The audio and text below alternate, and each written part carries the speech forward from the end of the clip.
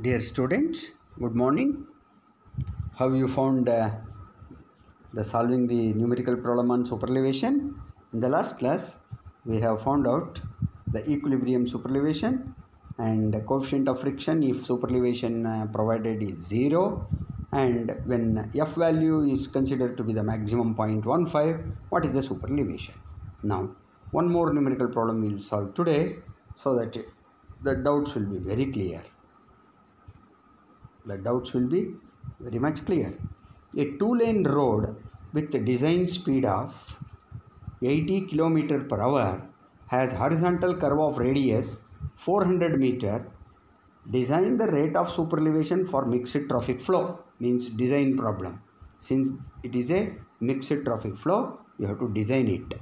By how much should be the outer edge of the pavement be raised with respect to the center line with respect to the center line.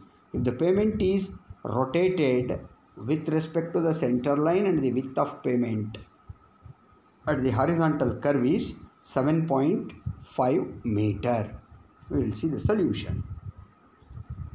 For mixed traffic flow conditions the superelevation should fully counteract the centrifugal force for 75% of the design speed. That is the first step.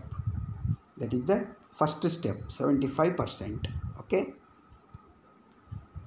E is equal to V squared by 225 or if you substitute you will get 0.059 this is less than 0.07 E is less than whatever the value we got is 0.07 therefore the superelevation of 0.059 may be adopted. It is okay. Okay. The total width of the pavement B is equal to 7.5 meter given. Rising the outer edge with respect to the center, E is equal to B by 2 because it is center multiplied by E. Rate of superelevation 7.5 by 2 multiplied by 0.059 you will get 0.22 meter that means rising of the outer edge with respect to inner edge E is equal to 0.22 meters. Okay, this is how the solution we got. That's all. Other two problems are there. It is uh, given. You people try at home so that that will be practice for you at home. Assignment. Uh, if you want, you can. Uh, uh, send after you solve it you send it through google classroom or on lms scheme lms system we will evaluate and uh, return you back. How far you are correct. Next radius of the horizontal curve. The ruling minimum radius of the curve for ruling design speed v meters per second or v kilometer per hour is given by R ruling is equal to V square divided by 127 multiplied by E plus F. Just you have to rearrange the equation E plus F is equal to V squared by 127 R. Just R you have to put suffix ruling. According to the earlier specifications of the IRC, you look back, the ruling minimum radius of the horizontal curve was calculated from a speed value 16 km higher than the design speed that is V plus 16 kilometers per hour. Example if we take it will be very clear. Calculate the values of ruling minimum and absolute minimum radius of horizontal curve. Minimum radius horizontal curve of a on a national highway in plain terrain. In plain terrain. This should have been plain. P-L-A-I-N. Plain terrain. Assume ruling design speed and minimum design speed values as 180 km per hour respectively. Solution Ruling minimum radius is calculated using equation so on so. For ruling design speed of 100 km per hour with the maximum values of E is equal to 0.07 and F is equal to 0.15 even though it is not given you have to remember and you have to take those values. E is equal to 7% because it seldom exceeds. E will not exceed 7% therefore you have to take that value. And F is equal to 0.15 as per IRC. Therefore, R ruling is equal to 357.9 meters, say 360. The absolute minimum radius here V should be taken equal to 100 minus 20 that is equal to 80 kilometers per hour.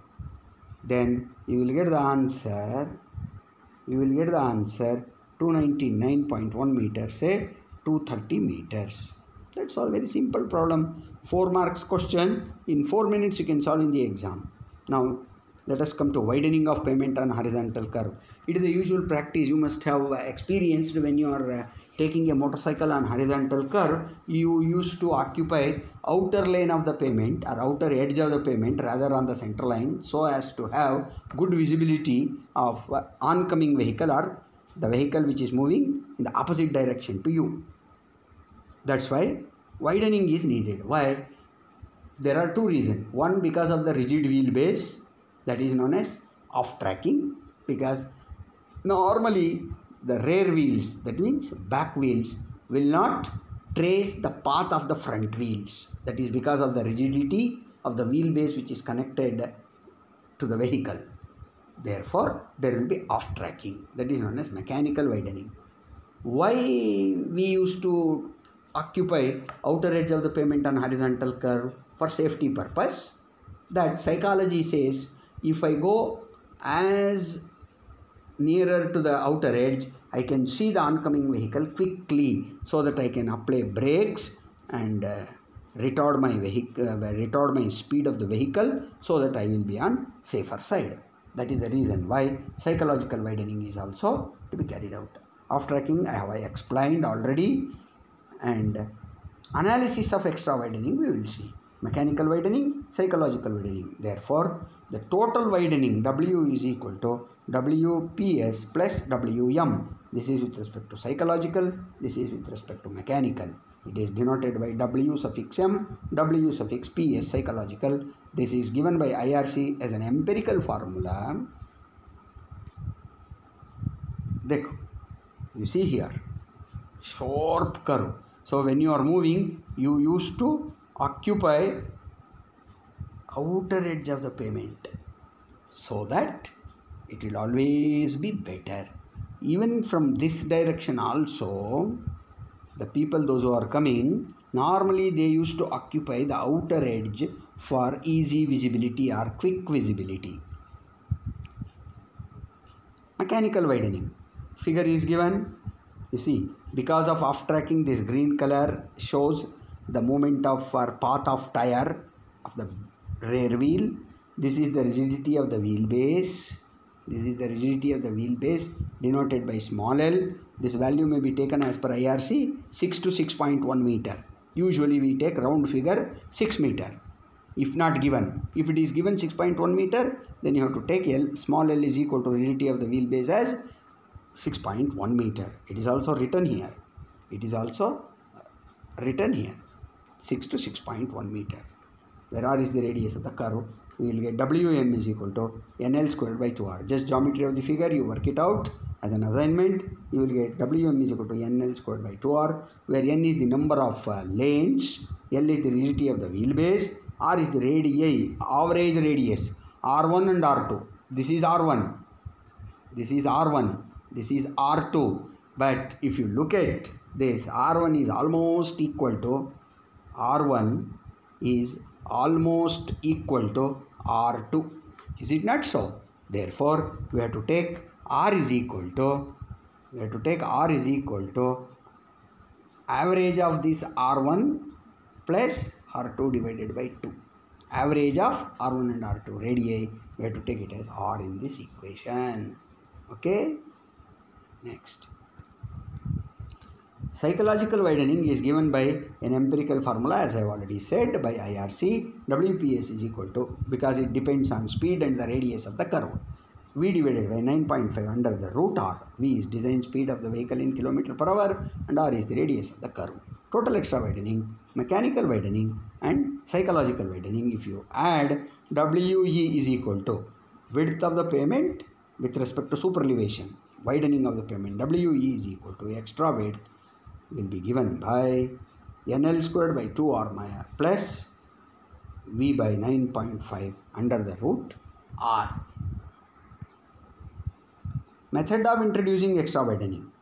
So whenever there is a sharp curve, sharp curve and smooth curve.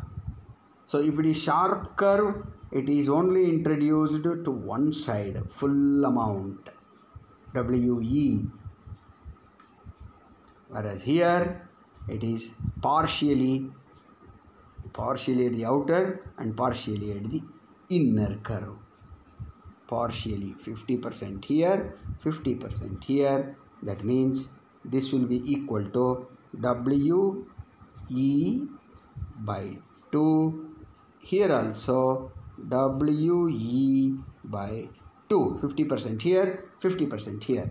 Whereas in case of sharp curve whole uh, 100% is to one side that is outer edge.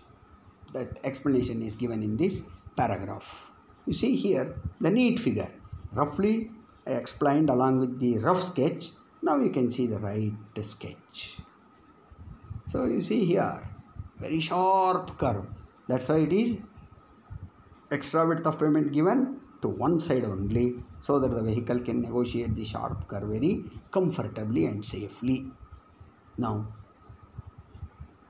example, calculate the extra widening required for a pavement of width 7 meter on a horizontal curve of radius 250 meter if the longest wheelbase of the vehicle expected on the road is 7 meter design speed is 70 kilometer per hour that is the problem there are so many problems we will solve this problem find the total width of the pavement on a horizontal curve for a new national highway be aligned along a rolling terrain rolling terrain remember with a ruling minimum radius ruling minimum assume necessary data. You have to assume the data. How to assume?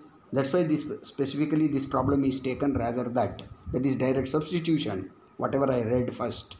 Now you have to assume everything. How you will assume? For national highway rolling terrain, rolling design speed we know minimum speed 80 km per hour. Maximum is how much? 100 km per hour. Normal pavement width W is equal to for national highway and state highway 7 meters. Number of lanes there will be two at least so we will have to consider only two if until unless it is mentioned in the problem assumption we are eligible to assume only two lanes not four lanes or six lanes. Wheelbase of the truck it is standard 6 meter. If somebody assumes 6.1 it is also good correct. Maximum value of superelevation 7% and skid resistance or lateral coefficient of friction 0.15. So these are the assumptions you have to make before solve the problem then problem will become much simpler just you have to apply the figure uh, formula r ruling is equal to v square divided by 127 multiplied by e plus f everything is assumed. V is known. 80 kilometer square 80 kilometer per hour squared 127 e is 0.07 and uh, coefficient of friction 0.15 therefore you will get 229 meter that is to be rounded off to near uh, higher value 230 meters. Therefore, extra widening WE WE is equal to NL squared by 2R plus V by 9.5 R. R is given, V is assumed, 9.5 is constant, L is 6 uh, squared, radius is just now we have calculated 230, therefore we will get uh, 0.712 meters. 0.712 meters. Therefore, total pavement width on curve is equal to W plus WE that is equal to 7 plus 0.71 is equal to 7.71 meter. I hope you must have followed very correctly and clearly without any doubts. Okay, thank you. We'll continue in the next class.